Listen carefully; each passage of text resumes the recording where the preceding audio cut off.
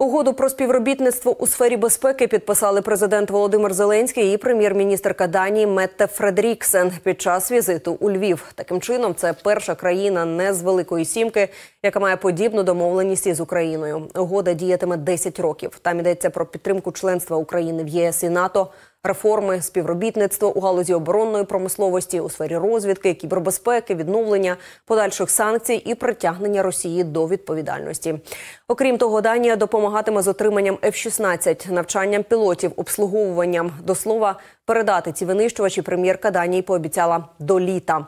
Країни закріпили підтримку розбудови морського флоту України та зусиль із розмінування. Давайте почуємо.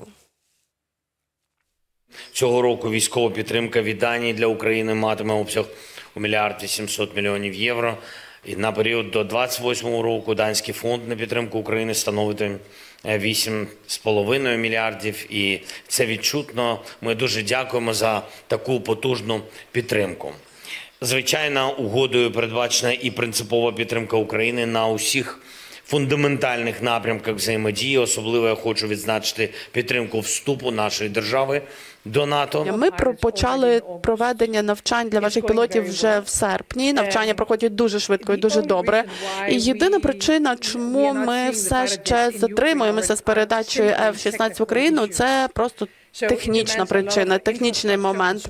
Потрібна серйозна інфраструктура для обслуговування цих винищувачів, і е, також ми розумієте, що провести навчання для F-16 набагато довше і триваліше ніж для будь-яких інших систем зброї чи літаків. І відповідно ми дуже наполегливо працюємо в цьому аспекті. І я е, сподіваюся, що нам вдасться вже найближчим часом ще до літа побачити F-16 в повітрі повітряному просторі України.